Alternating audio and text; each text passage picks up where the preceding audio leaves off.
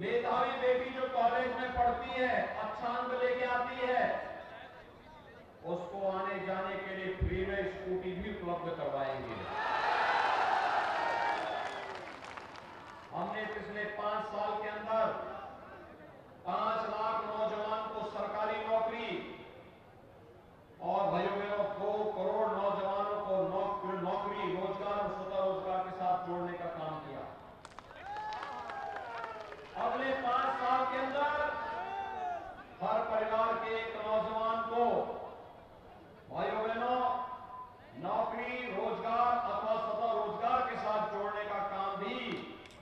जनता party की double engine सरकार करेगी। आज इसीलिए आपके पास